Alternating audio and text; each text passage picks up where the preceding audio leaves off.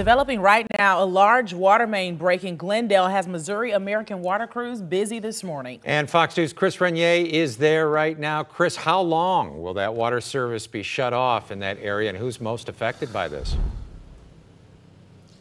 John Berg, good morning to both of you. This could be a while this morning, and it is impacting both a school and some homes. We are just south of Manchester Road here in Glendale on North Sappington. You can see crews working behind us here where this break happened. This all took place literally right in front of North Glendale Elementary School.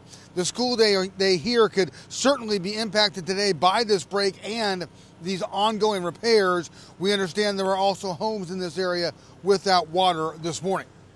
Take a look at a map of the impacted area released by Missouri American Water. It shows the main affected area to be along North Sappington here, generally speaking, between Alexandra Avenue and Chelsea Avenue. North Sappington, which is a pretty heavily traveled road in this area, is closed between Kirkham Avenue and Brownell Avenue, so traffic here could also be an issue as the morning develops.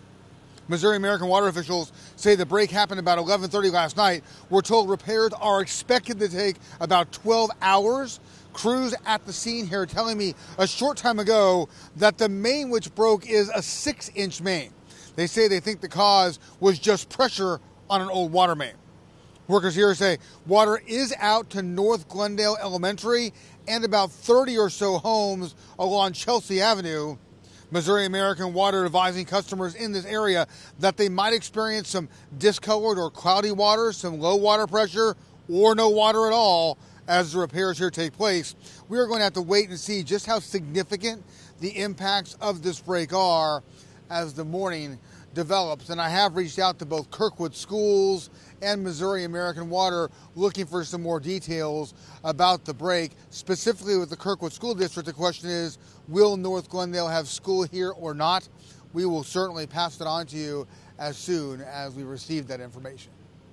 For now, live in Glendale, Chris Regnier, Fox News.